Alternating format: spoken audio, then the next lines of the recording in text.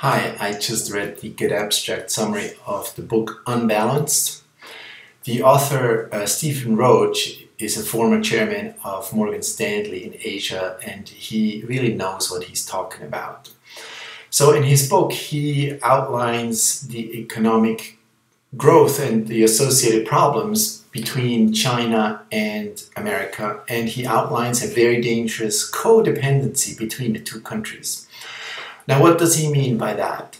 The Ameri- both countries uh, base their economic success on a very aggressive growth, and they depend on each other. The Americans funnel the growth based on consumption, and they need cheap U.S. Uh, cheap Chinese export to fuel the consumer frenzy.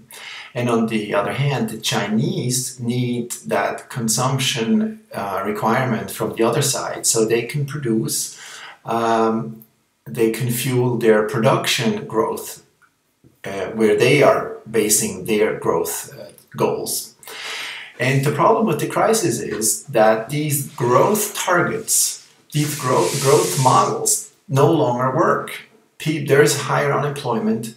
People do realize um, we don't have the money anymore. So consumption is decreasing in the States, and the export industry in China is suffering from that.